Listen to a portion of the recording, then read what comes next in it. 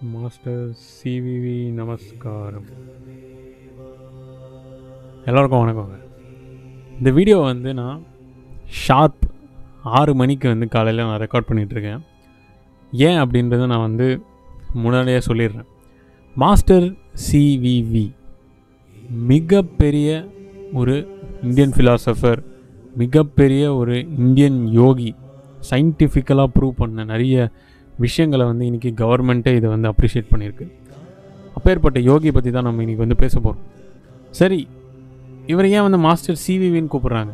நிறைய பேருக்கு வந்து அதுவே வந்து தெரியாது ஆக்சுவலாக அவருடைய ஃபுல் பேர் என்ன? அண்ட் அவர் யார்? ஆக்சுவலாக அவர் வந்து தெலுங்குக்காரர். அவர் ஒரு பிராமணர். சஞ்சுபாட்டி வெங்கடராவ் வெங்கடசாமி ராவ் அதான் அவருடைய பேர். ஸோ இவரை வந்து ஒரு ஃபிலாசபர் யோகின்னு சொல்லுவாங்க. ஃபிலாசபர்னுவாங்க ஒரு மிகப்பெரிய குருன்னு சொல்லுவாங்க. அண்ட் இவர் பார்த்தீங்க அப்படின்னா கும்பகோணம்க்கு ஆந்திராலேருந்து கும்பகோணம்க்கு இவர் ட்ராவல் பண்ணுறாரு இவர் அந்த கும்பகோணம்க்கு ட்ராவல் பண்ணதுக்கப்புறம் அங்கே வந்து இவர் ஒரு அடாப்ட் அடாப்டட் ஒரு கிட்டு தான் இவர். இவர் வந்து சொந்தமாக அம்மா அப்பா அப்படி கிடையாது அடாப்டட் தான். அடாப்ட் பண்ணிவிட்டு இவருடைய லைஃப் கும்பகோணம்க்கு போகுது. கும்பகோணம் போனதுக்கப்புறம் அங்கே இவர் வந்து ஒரு சேர்மன் வராரு அந்த முனிசிபலில் அதுக்கப்புறமா வந்து நீங்கள் பார்த்தீங்கன்னா அவருடைய லைஃப் அப்படியே ஆன்மீகத்தை நோக்கி வருது. இங்கே தான் வந்து நம்ம நிறைய விஷயங்கள் பேசணும். இன்றைக்கி வந்து நம்ம மாடர்ன் சயின்ஸு மாடர்ன் ஸ்பிரிச்சுவல் எல்லாமே டெவலப் ஆகிடுச்சு நிறைய பேர் வந்து கேட்பாங்க எதுக்கு வந்து நம்ம மாஸ்டர் சிவிவி நமஸ்காரம் மாஸ்டர் சிவிவி நமஸ்காரம் மாஸ்டர் சிவிவி நமஸ்காரம்னு த்ரீ டைம்ஸ் காலையில் ஆறு மணிக்கு இல்லை ஈவினிங் ஆறு மணிக்கு சொல்லணும். அப்படின்னு ஏன் வந்து மாஸ்டர் சிவிவி சொன்னார் அப்படின்னு. மாஸ்டர் சிவி சிவிவி சொன்ன ஒரே விஷயம் என்னென்னா அந்த ஆறு மணிக்கு காலையில் ஏர்லி மார்னிங் சிக்ஸ் ஓ கிளாக்கும் ஈவினிங் சிக்ஸ் ஓ கிளாக்கும் யாரெல்லாம் யோகம் உட்காந்து பண்ணுறீங்களோ மேலே ஒரு சில ஸ்டார்ஸோடைய ஜாமெட்ரி வந்து உங்களோட கனெக்ட் ஆகும். அது வந்து ராசி பலன் கிடையாது. அது வந்து நமக்குள்ளே வர ராசிகள்லேயோ ஜாதகத்துலேயோ வராது. இது ஜாதகத்துக்கும் தாண்டி இருக்கிற ஸ்டார்ஸ் அந்த ஸ்டார்ஸ் வந்து அதோடைய பிளெஸ்ஸிங் உங்களுக்கு வரும். அண்ட் யாரெல்லாம் இந்த மாஸ்டர் சிவி நமஸ்காரமாக காலையில் ஆறு மணிக்கு இதை சொல்கிறாங்களோ அவங்க கூட நான் இருப்பேன் அப்படின்றத உன்னிப்பாக எழுதியிருப்பார் மாஸ்டர் சிவிவி ஓகே ஸோ இதுக்கு தான் வந்து நான் மாஸ்டர் சிவி நமஸ்காரம். நான் ஆறு மணிக்கு நான் இந்த வீடியோ ரெக்கார்ட் பண்ணுறேன் வேணும்னா நீங்கள் வந்து பாருங்கள் டைம் கூட பாருங்கள் நிறைய பேர் நம்ப மாட்டீங்க. அதுக்காக நான் காட்டுறேன். இங்கே நீங்கள் பார்க்கலாம். ஆறு மணி. சரிங்களா? ஸோ ஃபைவ் ஃபிஃப்டி நைன் ஆக்சுவலாக நான் இது பண்ணுது. ஸோ ஆறு மணிக்கு நான் இந்த விஷயத்தை சொல்லணும்னு இருந்தது. அதனால் மாஸ்டர் சிவிவி அவர் அந்த இடத்துலேருந்து கும்பகோணம் போனதுக்கப்புறம் அவருடைய லைஃபே பார்த்திங்க அப்படின்னா ரொம்ப சமத்காரமான லைஃப் ரொம்ப வந்து காமாக இருக்கிற ஒரு பர்சன் எங்கேயுமே தன்னை வந்து வெளிப்படுத்திக்கிற ஒரு அவருடைய பர்சனாலிட்டியே கிடையாது. ஆனால் எங்கே போனாலும் ஸ்பிரிச்சுவல் மட்டும் தான் சொல்லுவார். அதுதான் அவர்கிட்ட இருக்கிற ஒரு ப்ளஸ் ஏன்னா சொசைட்டி மாறணும். சோஷியல் ரீஃபார்மராக நம்ம இருக்கணும் அப்படின்றது தான் அவருடைய ஒரு குறி குறிக்கோளாக இருந்தது முதல்ல. அப்புறம் அப்புறம் பார்த்திங்கன்னா ஆன்மீகத்தில் அவர் ட்ராவல் பண்ண ஆரம்பித்தார் அவருடைய மாஸ்டர் எம்டி அப்படின்னு சொல்லுவாங்க. அந்த மாஸ்டர்கிட்ட அவர் யோகங்கள் கற்றுக்கிட்டார் இப்போ நிறைய பேருக்கு இருக்கிற சந்தேகம் இதுதான் அவர் என்ன யோகம் பண்ணுறாரு ராஜயோகமா கிரியா யோகமா இதுதான் பெரிய டவுட்டில் உங்களுக்கு. இதை நான் கிளியர் பண்ணுறேன் இந்த வீடியோவில் ராஜயோகம் அப்படின்றது வந்து அதுவும் பரமம்ச யோகானந்தர் சொன்ன இந்த ரெண்டு யோகமும் ஒன்று தான் ஏன் அப்படின்னு நீங்கள் கேட்கலாம். எப்படிங்க அப்படின்னு கேட்கலாம். ரெண்டு பேருமே வந்து பண்ண யோகம் கலைகள் ஒன்றே ஒன்று தான் மாஸ்டர் சிவிவி வந்து அதை எலக்ட்ரானிக் சிஸ்டம்னு சொல்லுவார். எப்படி நம்ம காஸ்மிக் அந்த அந்த டிவைனை வந்து எப்படி நம்ம அடையணும்? அது சயின்டிஃபிக்கலாக எலக்ட்ரானிக் சிஸ்டம்னு அவர் சொல்கிறார் எலக்ட்ரானிக் யோகிக் சிஸ்டம் அப்படின்ற மாதிரி அவங்க சொல்லுவாங்க. ஸோ அதனால தான் மாஸ்டர் சிவிவியை ஒரு சயின்டிஃபிக் ஒரு ஃபிலாசபராக வந்து பார்க்க ஆரம்பித்தாங்க பிகாஸ் அவர் சயின்டிஃபிக்கலாக நிறைய விஷயம் ப்ரூவ் பண்ணாருன்னு. ஸோ மாஸ்டர் சிவிவி தன்னுடைய குரு கிட்ட கற்றுக்கிட்டு அதுக்கப்புறமா மாஸ்டர் சிவியுமே வந்து அந்த பயிற்சிகள்லாம் பண்ணுறாரு அஃப்கோர்ஸுங்க அவர் இல்லறத்தில் இருந்து இது அடைஞ்சதுனால அவர் ஒரு ராஜயோகின்னு சொல்லுவாங்க. ஏன் அப்படின்னா இல்லறத்தில் யார் இருந்து அடைஞ்சாலும் அவங்க ராஜயோகி தான். கிரியா வேறு ராஜயோகா வேறு வாசி யோகா வேறுன்னு நினைக்காதீங்க. இதை பற்றி நான் நிறைய வீடியோ போட்டிருக்கேன். போய் தயவுசெய்து பாருங்கள் அதுக்கு நிறைய பேர் வந்து ரெஸ்பாண்ட் பண்ணியிருந்தீங்க. ஸோ ராஜயோகம் வேறு கிரியா வேறு வாசி வேறு நம்ம கன்ஃபியூஸ் பண்ணிக்கிறோம். பட் அந்த மாஸ்டர்ஸை பொறுத்த வரைக்கும் பரமம்சர் ஆகட்டும் இப்போ மாஸ்டர் சி ஆகட்டும் பாபாஜி ஆகட்டும் ரமண மகர்ஷி ஆகட்டும் இவங்க எல்லாருக்கும் ஒரே பயிற்சி தான் ஒரே டெக்னிக் தான். இவங்க எல்லாருக்குமே தெரிஞ்சது ஒரே டெக்னிக் தான். இதைத்தான் வந்து பல பேர் பல ஒரு ஒரு விஷயமாக ஸ்ப்ரெட் பண்ணாங்க. அவ்வளோதான் தவிர யாருமே வந்து அது பிரித்து போன டெக்னிக்ஸ் அது வந்து வேறு இது வேறு அப்படின்லாம் சொல்லலை. நம்ம வந்து அந்த மாதிரி நினச்சிக்கிறோம். அதனால் அவர் அது வந்து பண்ணி ப்ரூவ் பண்ணி போனதுக்கப்புறம் நம்ம வந்து அது ராஜயோகி அப்படின்னு நம்ம சொல்லிக்கிறோம். ஸோ அது ஒரு இது இப்போ உங்களுக்கு அது புரிஞ்சிருக்கும் என்ன அப்படின்னு. ஸோ அந்த சிஸ்டம் அவர் எப்படி வந்து அந்த லைஃப் லைனில் வராரு அப்படின்னா மாஸ்டர் சிவி வந்து அவருடைய லைஃப் வந்து உன்னிப்பாக அவர் வந்து போகிற பாதையே வந்து ஸ்பிரிச்சுவல் நோக்கி போகுது. அங்கே வந்து கல்யாணம் பண்ணி வைக்கிறாங்க அவருடைய மாமா பொண்ணுக்கு. வெங்கம்மா அவங்க பேர். அவங்களுக்கு கல்யாணம் பண்ணி வைக்கும்போது இவருக்கு விருப்பம் இல்லை. எனக்கு வேண்டாம் வேண்டாம்னு சொல்லும்போது வேறு வழி இல்லாமல் கல்யாணம் பண்ணி வச்சிடறாங்க பிராமணர்னால. இவர் பூனல் எல்லாமே வச்சுருப்பார் போட்டிருப்பார். இங்கே தான் வந்து ஒரு நல்ல கதை. ஆக்சுவலாக டெம்பிளில் பார்த்தீங்கன்னா சொல்லுவாங்கள்ல காலையில் வந்து மேரேஜ் நடக்கும் கும்பகோணமில். டெம்பிளில் பார்த்தீங்க அப்படின்னா மேலே வந்து அருந்ததி நட்சத்திரம் தெரியுது பாரு அப்படின்னு சொல்லிட்டு ஒரு பிராமணர் சொல்லுவார். இவருக்கு உள்ளே உள்ள பத்துக்கிட்டு எரியும். சரி அப்படின்னு பார்ப்பாரு இப்போ புருஷன் பொண்டாட்டி ரெண்டு பேரும் கல்யாணம் இருக்காங்களா அவங்கக்கிட்ட பாரு பாரு எங்கே அங்கே தெரிது பாரு அப்படின்னுவார் பிராமணர். இவர் கேட்பார் எங்கே தெரியுது? அப்படின்னு கேட்பார் இதோ அங்கே தெரியுது. அப்படி தான் அப்படி தான் சொல்லணும். அப்படி சொன்னால் தான் வந்து அது கரெக்ட் அப்படின்னுவார். அப்படி சொல்லணும் அது ஒரு சின்ன விளையாட்டு அப்படின்னு கொடுமையை பிடிச்சி பலகாரம்னு ஒன்று விடுவார். என்னடா நீ? என்ன நீ வந்து தெரியாத நட்சத்திரம் தெருதுன்ற? நட்சத்திரம் மூலம் எங்கே இருக்குது தெரியுமா? எங்கே இருக்குதுன்னு உங்களுக்கு தெரியுமா? அப்புறம் எதுக்கு இந்த பொய் பித்தலாட்டம் உனக்கு? பிராமணருடைய அந்த ஒரு வேல்யூவை கெடுக்காத. அப்படின்னு சொல்லிட்டு அந்த இடத்த விட்டு போயிட்டே இருப்பார் இவர். வா போகலாம் அப்படின்னு கூட்டிகிட்டு போயிடுவார் மனைவியை. அந்த மாதிரி ஹைலி பவர்ஃபுல் ஸ்பிரிட் அவர். அவர் கேட்க ஆளே இல்லை. பிகாஸ் ஹேஸ் பவர்ஸ் இன்சைட் அவர் பண்ணுற அந்த யோகா கலைகள். ஸோ அப்படி ஐம்பத்தி மூணு வயசு தாங்க அவர் வாழ்ந்தது. அந்த ஐம்பத்தி மூணு வயசில் அவர் பண்ணாத மிராக்கிள்ஸ் கிடையாது. அதை பற்றி நம்ம இந்த வீடியோவில் பேசுவோம். ஸோ மேரேஜ் ஆகுது. குழந்தை பெற்றுக்கணும்னு ஆசைப்பட்றாங்க அவங்க ஒய்ஃபு இவருக்கு சுத்தமாக விருப்பம் இல்லை. குழந்தை பெற்றுக்கிட்டு என்ன பண்ணணும்? என்ன பண்ண முடியும் அப்படின்றது பட் ஆனால் இவருக்கு தெ தெரியுது.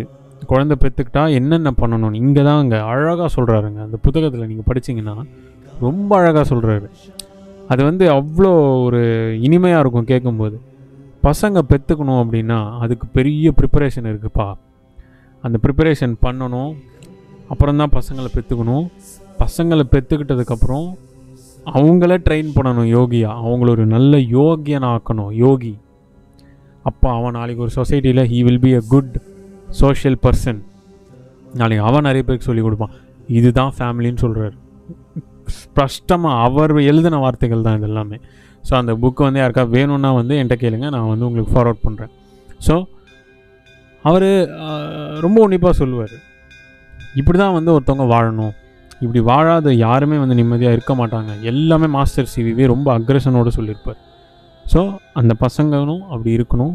அந்த பசங்களும் அந்த யோகத்தை கற்றுக் கொடுக்கணும்.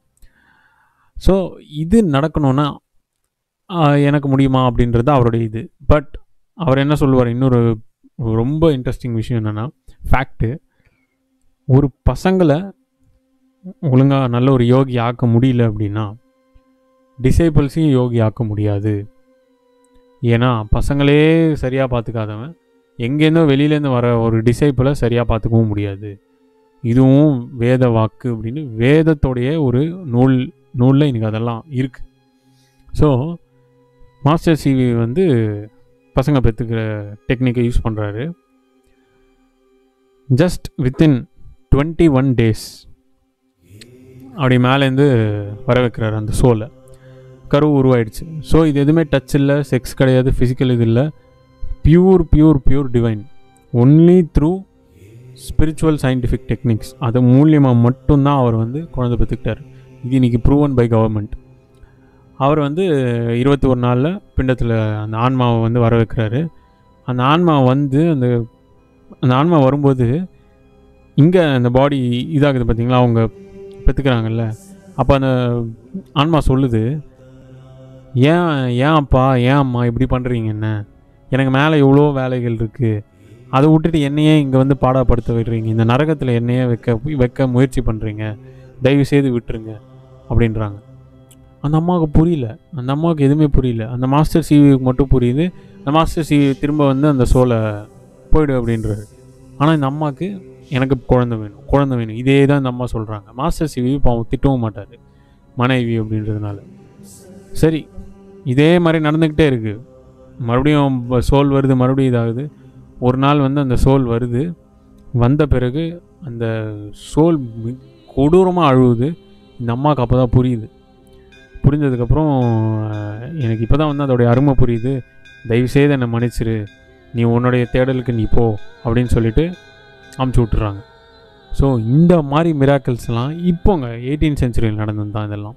எயிட்டீன் நைன்டிஸில் நடந்தது தான் ஸோ இது ஒரு செட் ஆஃப் மிராக்கிள்ஸ் அவர் பண்ணது.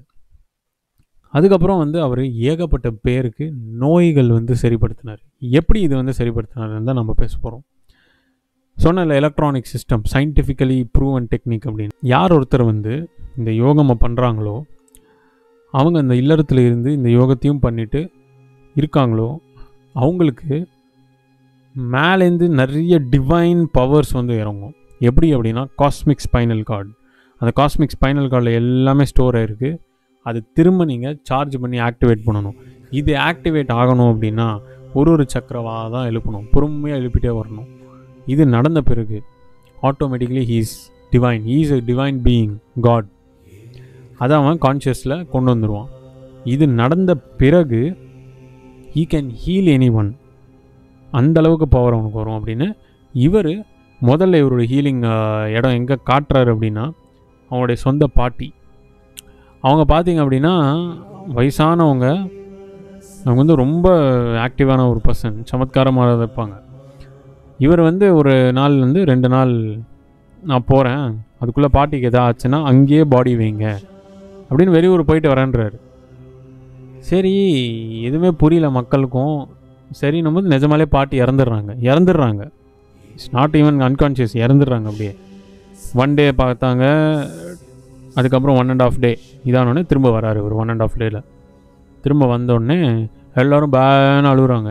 போங்க அப்படின்னாரு. ஒரு போ போங்க அப்படின்னு சொல்லிட்டு ஒரு ஓரமாக போய் உட்காந்தார் just within two and half minutes அந்த பாட்டி திடீர்னு எந்திரிச்சு டே ராசா பசிக்குதுடா எனக்கு. அந்த பிரிஞ்சால் ஏதோ வந்து சமைச்சிருப்பாங்க போல். அது கொஞ்சம் குடுறா நான் சாப்பிட்றேன் அப்படின்றாங்க. அதுக்கப்புறமா அந்த பாட்டி வந்து ரெண்டு வருஷம் வாழ்ந்தாங்க. இப்போ ஏற்பட்ட மிராக்கிளுங்க இறந்த ஒருத்தவன் ஏ அப்படி போய் ரெண்டு நிமிஷத்தில் எழுப்பிட்டு வர்றாரு அவர் ஸோ அதனால் அங்கே ஸ்டார்ட் ஆகுது மாஸ்டர் சிபிஓடைய பவர்ஸ் அந்த பவர் எங்கே போய் முடியுதுன்றதையும் நான் வந்து தொடர்ச்சியாக சொல்கிறேன் பேசலாம். இதெல்லாமே வந்து நடந்த உண்மைகள் தான். இப்படி மாஸ்டர் சிவி ஒரு ஒரு விஷயத்தையும் வந்து பண்ணிக்கிட்டே வரும்போது ஒரு இடத்துல நிறைய டிசீசஸை க்யூர் பண்ணுறாரு அப்படியே ஸ்ப்ரெட் ஆகுது மக்களுக்கு. மக்களும் வந்து இவரை தேடி வராங்க. கேன்சர் க்யூர் பண்ணுறாரு சுகர்ன்றது அப்போ வந்து ரொம்ப பெரிய நோயின்ற மாதிரி. அதேமாரி இந்த கொப்பள கொப்பளமாக கால் வீக்கம் வருது யானைக்கால் வருது எல்லாத்தையுமே அவர் வந்து ஹீல் பண்ணுறாரு இதெல்லாம் பண்ண பிறகு மக்களுக்கே புரிய ஆரம்பிச்சிருச்சு. மக்களும் அந்த பயிற்சியை பண்ண ஆரம்பிச்சிட்டாங்க. அதில் ஏகப்பட்ட பேர் முக்தி அடைஞ்சவங்களாம் இருக்காங்க. அப்படி வந்தது தான் வந்து மாஸ்டர் சிவியோடைய மிகப்பெரிய பவர் பட் இதோட அவர் பவர் நிறுத்தினாரா அப்படின்னா மாஸ்டர் சிவிவி அப்படின்னு சொன்னாலே அவருடைய பேருக்கு பின்னாடி தெரியிற ஒரே விஷயம் செவ்வாய் கிரகம். என்னங்க செவ்வாய் கிரகம் அவருக்கு என்னங்க சம்மந்தம்னா மார்ஸ் பிளானட்டோடைய டெம்பரேச்சரை அக்னி டெம்பரேச்சராக மாற்றினார் மார்ஸ் ஒரு இடத்துல வந்து ரொம்ப ஐஸ் ஆகி கோல்டாகி அந்த டெம்பரேச்சரே அந்த மார்ஸ் பிளானட்டே பார்த்தீங்க அப்படின்னா அதோடைய ரொட்டேஷன்ஸில் ஏதோ ஒரு பிரச்சனை இருக்குன்னு இவருக்கு தெரிஞ்ச உடனே இவர் ப்ரேயர்லேருந்து அந்த மார்ஸ் பிளானட்டுக்கு இவருடைய சோல் வழியாக போயிட்டு வந்ததாக சொல்லுவார். அங்கே வந்து இவர் டெலிபோர்ட் ஆனாரோ ஆஸ்ட்ரல் ட்ராவல் பண்ணாரோ தெரியாது. பட் அவர் அந்த இடத்துல இருந்தார். அந்த இடத்துக்கு போயிட்டு அவர் அந்த இடத்த டெம்பரேச்சரை மாற்றினார் மொத்த பிளானட்டோட டெம்பரேச்சர் சராசரியான விஷயம் கிடையாது. ஸோ ஒரு சாதாரண யோகின்னு நம்ம நினைப்போம். எவ்வளோ சக்தி வாய்ந்த விஷயங்கள் அவங்களால பண்ண முடியுது பார்த்தீங்களா இதுதாங்க யோகம். இதுதான் சக்தி. அந்த சக்தியை வந்து நம்ம எழுப்பணும் அப்படின்னா உள்ளுக்குள்ளேயே இருக்குது சிவம் சக்தி விஷ்ணுமூர்த்தி பிரம்மா எல்லாமே நமக்குள்ளே தான் இருக்குது இது எல்லாமே எழுப்புறது தான் அந்த நிலைகள் ஆப்ஜெக்டிஃபை பண்ணாங்க வெளியில். ஒரு மெட்டாஃபர் ஆப்ஜெக்ட் மாதிரி. அதனால் இறைவன் தேடுங்க. கோவில் போங்க. எல்லாமே பண்ணுங்கள் கடைசி வரைக்கும் யார் நம்மக்கிட்ட பேசினாங்கன்றதை மட்டும் உன்னிப்பாக கவனிங்க. எந்த சாமி எந்த ஒரு சிலையும் நம்மக்கிட்ட பேசலை. நம்ம எல்லாருமே வந்து ஈவில் நோக்கி போகிறோம் பேடு பேடை நோக்கி போகிறோம் பேடோட இது என்ன தெரியுமா? உங்களை எப்படி தெரியுமா வச்சுருக்காங்க? அதான் கடவுள். திருப்பதிக்கு முடி கொடுத்துடணும் பரிகாரம் பண்ணிடணும் துணி கொடுத்துடணும் முடியை கொடுத்துடணும். இது மாதிரி ஒன்று ஒன்றும் நம்ம வச்சுக்கிட்டோம். குல தெய்வம் அந்த தெய்வம் இந்த தெய்வம்னு தெய்வம்ன்றது ஒன்று அதை வந்து பிரிச்சுட்டாங்க. உங்களுக்குள்ளே இருக்கிறத பிரிச்சுட்டு உங்களுக்கும் தெரியப்படுத்த விடாமல் அப்படி யாராவது தெரிஞ்சுக்கணும்னு நினச்சாலும் அந்த அம்மா அப்பா என்ன பண்ணுவாங்க? சாமியாராக போயிடுவாங்க. சாமியாராக போயிடுவாங்கன்னு இவங்களே சாபம் விட்டுறாங்க. இந்த அளவுக்கு கலியுகம் மாறிடுச்சு. அதனால் அந்த அளவுக்கு வந்து பவர்ஃபுல்லான சயின்ஸ் எத்தனையோ பேர் இருந்திருக்காங்க. ஐம்பத்தி மூணு வயசு வாழ்ந்த ஒருத்தர் எவ்வளோ விஷயம் பண்ணிட்டு போயிருக்கார். பட் நம்ம அட்லீஸ்ட் அதை ட்ரை கூட பண்ண மாட்டோமே. அதனால் இந்த வீடியோ வந்து நான் ரொம்ப ஸ்பெஷலாக மேக் பண்ணுது. நிறைய விஷயங்கள் மாஸ்டர் சிவி சொல்லியிருப்பார். அது நம்ம போக போக நிறைய வீடியோஸில் பேசுவோம். மாஸ்டர் சிவியோடைய அந்த மந்திரத்தை தினமும் ஆறு மணிக்கு எந்திரிச்சிக்கிங்க யாராவது சிக்ஸ்க்கு எந்திரிச்சிடுறீங்களா? ஃபைவ் தேர்ட்டிக்கு எந்திரிச்சிடுறீங்களா? சிக்ஸ் ஓ கிளாக் வரைக்கும் உட்காந்துட்டு மெடிடேட் பண்ணுங்கள் சிக்ஸ் ஓ கிளாக் ஷார்ப்பாக எந்திரிச்சு மாஸ்டர் சிவி நமஸ்காரம். அது வந்து ஒரு த்ரீ டைம்ஸ் சொல்லுங்கள் அது சொல்கிறதுனால ஒன்றும் கிடைக்க போகிறதில்ல உங்களுக்கு அந்த ஒழுக்கம் வரும். ஆன்மீகத்தில் நம்ம உட்காரணும். அடுத்த படி எடுத்து வைக்கணும் அப்படின்ற ஒழுக்கம் வரத்துக்கு தான் இதெல்லாம். ஸோ எல்லாருக்குமே வந்து இந்த வீடியோ பிடிச்சிருக்கும்னு நினைக்கிறேன். மாஸ்டர் சிவிபி ஐம்பத்தி மூணு வயசில் இறந்தாருன்னு சொல்லக்கூடாது. மகா சமாதி அடைஞ்சவர் தான் அவர்.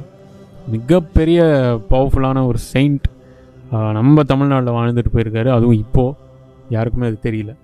ஸோ அந்த மாஸ்டர் சிவிவி உடைய ஆசீர்வாதத்தில் இந்த வீடியோ நான் பண்ணுறேன் நான் நினச்சிக்கிறேன். இது நான் நினச்சிக்கிறது தான். மற்றபடி இது நிஜம்னு நான் சொல்லலை. இது நான் நினச்சிக்கிறது. ஸோ அப்படி இருந்தால் அது வந்து சந்தோஷம்.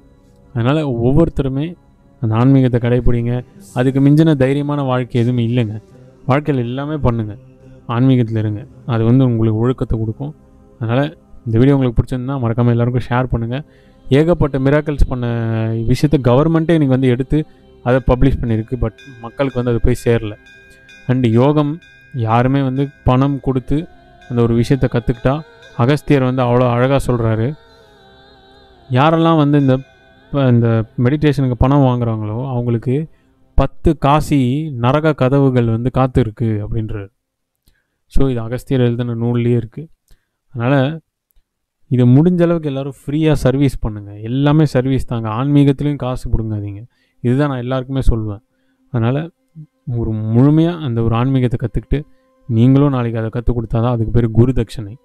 அதனால் ஒரு ஒருத்தரும் ஒரு ஆன்மீகத்தை கடைப்பிடிச்சி ஒரு ஒரு ஃபேமிலிலையும் அந்த விதையை போடுங்க. பசங்கள்கிட்டயோ உங்கள் மனைவிக்கிட்டேயோ இல்லை மனைவிகள் புருஷங்கக்கிட்டேயோ விதையை போட்டு நல்ல ஒரு பீஸ்ஃபுல்லான ஒரு அட்மாஸ்பியர் கொண்டு வாங்க. இதில் தாங்க வாழ்க்கை இருக்குது ஸோ இதை சொல்லி நான் வந்து இந்த வீடியோ முடிச்சுக்கிறேன்.